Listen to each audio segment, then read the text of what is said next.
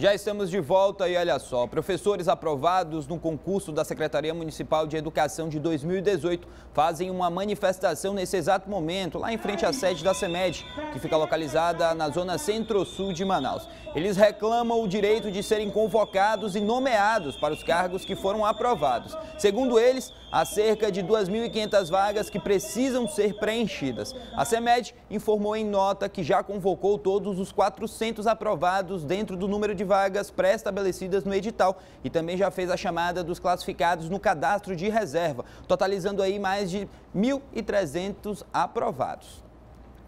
A Justiça, a Justiça, Federal determinou a retirada dos feirantes da maior feira de pescado de Parintins por invasão a uma área de proteção ambiental. O repórter Tadeu de Souza tem os detalhes para a gente. Bom dia, Tadeu. Bom dia, Vitor. Bom dia a todos que acompanham o Boletim em Tempo. Bom dia, Manaus. Vitor, nós estamos aqui na Feira da Nova Conquista, que fica na rua Geribentes, aqui no bairro Itaúna 12, na zona sul da cidade de Parintins. É que na manhã de ontem, os feirantes, aqui tem uma associação de feirantes, eles foram comunicados que uma decisão da sétima vara da Justiça Federal determinou a desocupação de toda essa extensão, toda essa área. A justiça alega que há um comprometimento do meio ambiente. Estou aqui com o presidente da feira, ele vai conversar conosco, vai dar mais detalhes. Eles já estão recorrendo da decisão da Justiça Federal. Bom dia, presidente. É, bom dia, Tadeu.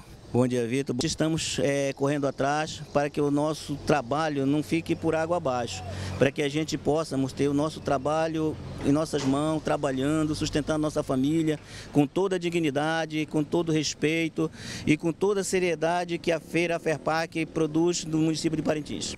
Muito obrigado aqui ao presidente da Associação de Feirantes da Feira Nova Conquista, aqui, como eu disse, na zona sul da cidade de Parintins. É, o detalhe é o seguinte, a Justiça determinou o prazo de 90 dias para toda essa, essa, essa área aqui ser desocupada. Os boxes serem derrubados, serem retirados. Quem descumprir a decisão da Justiça será, vai pagar uma multa de mil reais ao dia. Volto com você no estúdio, Vitor. Muito obrigado pelas informações, Tadeu.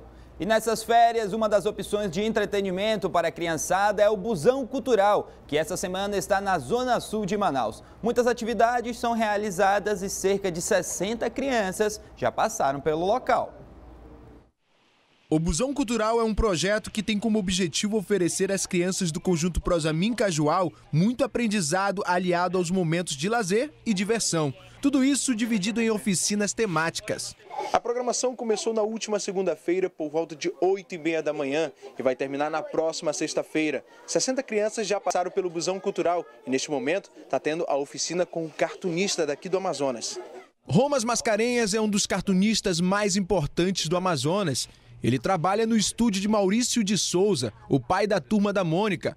Romas é um dos instrutores das oficinas do Busão. Além de muita leitura, né, vamos ter um pouco de diversão, com atividades educativas, um pouco de desenho, pintura em desenho. É, vamos ter hora da matemática, ensinar um pouquinho de matemática, mas a parte básica de matemática, um pouco de português. E vamos ter teatro de fantoches. E no final a gente vai ter uma apresentação né, do pessoal do Instituto Reino do Amanhã, que vem trazer um pouquinho de samba para as crianças aqui da comunidade. Então, a partir da afirmação da parceria, a gente começa a mobilizar o parque, né? Os parques de Cajual e Jefferson Pérez e também o entorno. A gente vai de casa em casa, apartamento em apartamento, a gente lança o convite para eles impresso e também nos grupos de WhatsApp que a gente tem com os moradores. E no decorrer da semana, a gente vai reforçando, né? Lançando a programação, reforçando o que vai ser trabalhado em cada dia dentro do busão. Muitas crianças não perderam a oportunidade de aproveitar as férias. Mesmo com a chuva forte, foram até o busão cultural e participaram das oficinas. Gostou da programação? Sim. Então faz um joinha pra cá. É? Faz um joinha pra cá.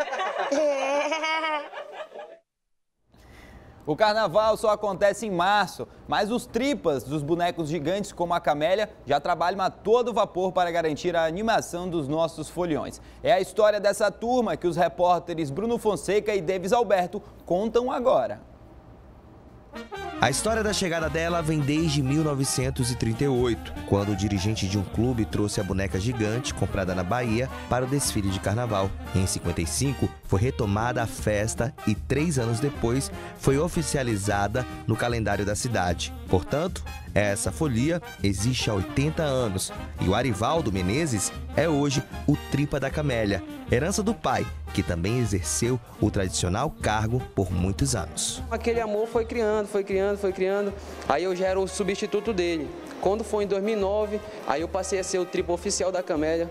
Muito, muito feliz, fiquei muito feliz quando me deram esse cargo de responsabilidade. A Camélia é recebida todos os anos no aeroporto de Manaus e levada à zona centro-sul da capital, abrindo oficialmente o carnaval. A Camélia ela tem mais ou menos 3 metros e pesa um pouco mais de 20 quilos. E o Arivaldo, ele fica aqui dentro, ó a todo o vapor. Deixa eu ver se eu consigo achar o Arivaldo aqui. Vem cá, Arivaldo. Achei, achei, achei. Arivaldo, como é que tá aí dentro? É um pouco desconfortável, mas é o símbolo, a gente tem que sustentar. Então vamos de carnaval, olha a camélia aí! No centro de Manaus também tem tradição. Esse bar promove um tradicional carnaval de marchinhas. É a banda da Bica. Aqui os bonecos representam os donos do bar, Armando e a esposa, a dona Lourdes, e o jornalista Deucleciano Bentes, o Deco. Quem vem aqui acha. Beautiful, beautiful. Quem frequenta o local há muito tempo se sente nostálgico. Lembra o carnaval, Armando, faz parte do folclore todo, do carnaval e tudo. E já é uma identidade também, né? Dessa área aqui de Manaus, que é muito bonito também. No carnaval, a folia é assim, com tradição. Já estamos todos ansiosos aí pela chegada do carnaval. E para você que acompanha todas as manhãs o Boletim em Tempo, não esqueça de participar conosco. Mande a sua mensagem pelas nossas redes sociais, na página do Em Tempo no Facebook e também no YouTube. Ou então segue a gente lá no Instagram, arroba TV em Tempo Online. Você também pode enviar sugestões de matéria através do nosso WhatsApp. Anote aí o um número, 9 9207 0090. O Boletim em Tempo de hoje fica por aqui, mas agora você fica com um programa que vai trazer as notícias da segurança pública, um giro nas ocorrências policiais de Manaus e do interior. É o Namira com Valdir Rocha e Luiz Rodrigues.